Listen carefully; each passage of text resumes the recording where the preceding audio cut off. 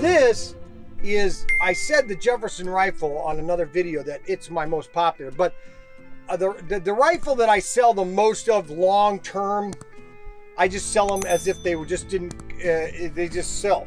And that is the golden rifle because it is golden, gold plated. And I have to very be careful, careful when I cut this because I don't want to cut the gold. All right. Check out this gold plated, man. And this is why everybody loves this gun because of the gold plated. It's an eight shot gun.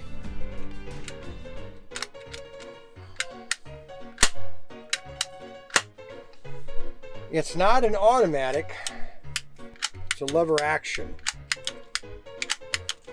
And that's why people really love this is because of the lever action. Now the reason this gun is so popular is number one, it's all metal. You got your golden part right here, which just looks beautiful. Okay, you've got your nice wooden stock right here. This is all wooden, no plastic. You got your wooden barrel. Now, normally it comes with a card, uh, but I got them cheaper without the card. So you save like $3 without the card.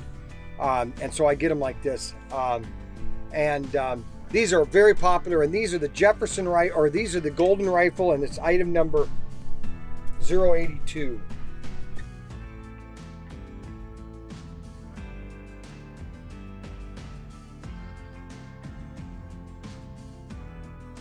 And so this is the Golden Rifle at ProTinkerToys.com.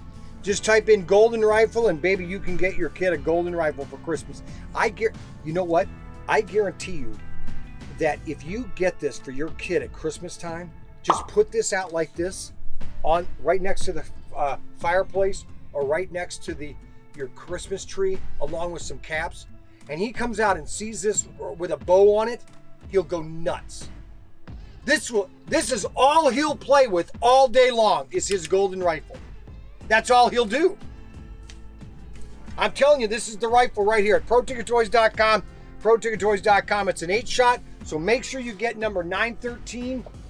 913 and always buy a minimum of five of these things. Five of these eight caps. And this is 913. 913 along with your golden rifle.